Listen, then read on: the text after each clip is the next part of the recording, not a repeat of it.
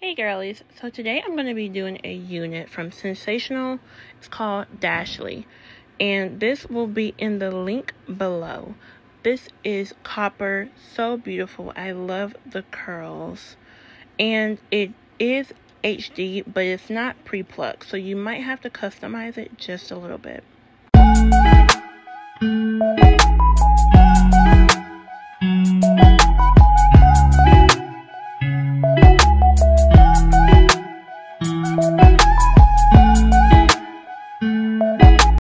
So unlike the other Sensationnel units that I've worn, this parting wasn't that big. It wasn't that wide.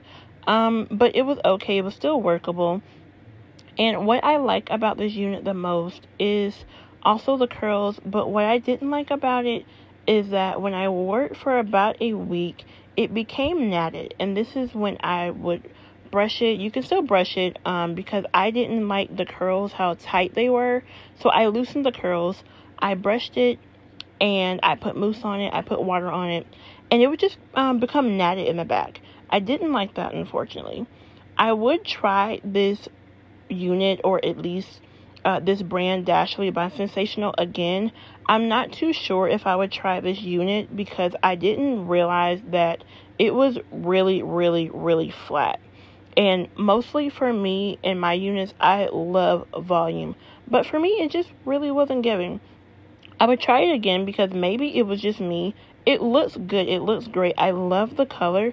I just didn't have that volume like I normally expected from certain units. But that's okay too.